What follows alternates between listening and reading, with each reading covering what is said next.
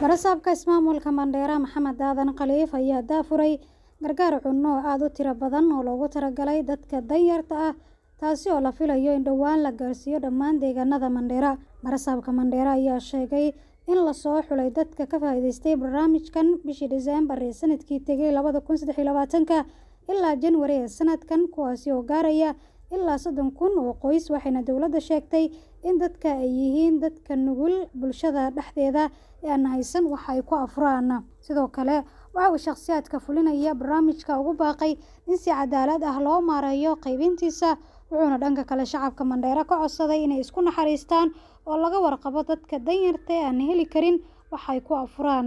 insha allah waxaan ka rajo qabnaa inaan sidii cadaala oo degdeg badan aan dadkan raashinka maanta maanta iyo wiigan soo socda aan u gaarsi doono.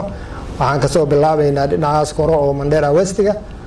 insha allah waxaan ku qatimi doonaa Mandera East. Mandera isna waa la socnaa magaaladan inay dad zaa'id oo baahan yihiin inay joogaan. Programkana markaan dhammayno weli qoysaska aan rabna inaan zaa'id baaritaan ku sameyno oo dadki zaa'id oo dhibaysan inaan insha allahu waxaan programkan ahayn insha allah waan u quudi doono Gawaari tiro badan oo nooca xamuulka qaada ayaa safaro u galay degmooyinka ismaamulka Mandera si bishan Ramadaan cunnooyin isku dheelitiran loo gaarsiiyo shacabka danyarta ee aan haysan wax ay ku afuraan.